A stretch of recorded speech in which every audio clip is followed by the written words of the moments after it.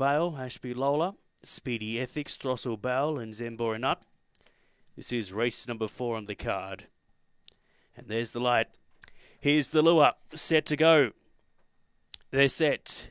Ready and racing. Paying the price was only fairly away. Red Fire Bay was nicely into stride along two now with paying the price. All couple in bother. Out the back was Ashby Lola. Got into bother at that first corner with Throstle Bell, but taking stock, it's paying the price. Leads by three from Zambora Nut. Red Fire Bay, Angel Bale, Speedy Ethics. They turn. It's paying the price. Went right on the track, but it's going to come away. It's paying the price. Wins from Red Fire Bay and Angel Bale. And then came Zambora Nut with Speedy Ethics. Ashby Lola got into trouble with Throstle Bell and the time was 20 and 70.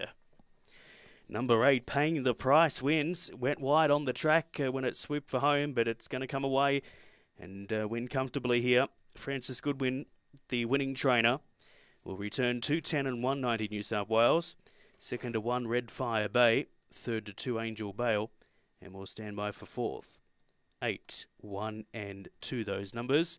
8, 1 and 2 eight paying the price. Francis Goodwin is the owner and trainer. Is a black bitch by Orson Allen at a Simply Elite. Whelped in July of 2021. Start 14, win number 5.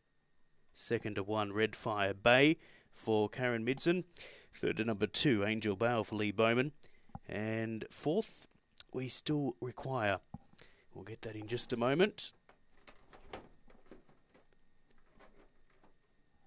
Number seven. So there's interim placings 8127. Interims 8127. The margin five and three quarters by one and a half, and they've stopped the clock in 20 and 66. 20, 66, 8, 1, 2, and 7 on race four.